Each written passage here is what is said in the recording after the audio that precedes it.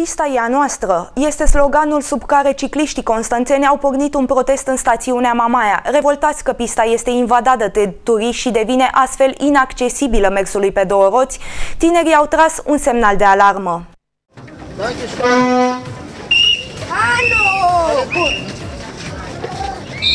Alfa media.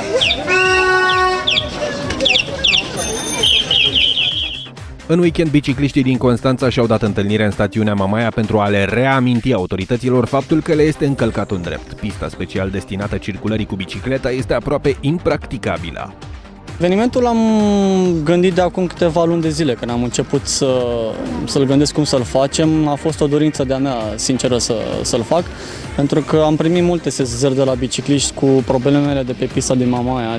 Din păcate, și a turiștilor, pentru că mulți turiști nu, nu respectă biciclistul. Uh, având dreptul să mergem pe pista din Mamaia, uh, clar uh, trebuie să fim, să fim protejați. Nu suntem protejați, lumea intră în conflict cu noi, noi trebuie să avem grijă de, de, de noi, dar încercăm să, nu neapărat acum să rezolvăm probleme, dar încercăm măcar să atragem atenția autorităților să uh, găsească un motiv de, pentru rezolvarea pistei din Mamaia, pentru că este o promenadă și un loc unde lumea se poate, se poate plimba. De ce nu cu bicicleta proprie sau cu bicicletele care se pot încheia din parcul tăbăcăriei?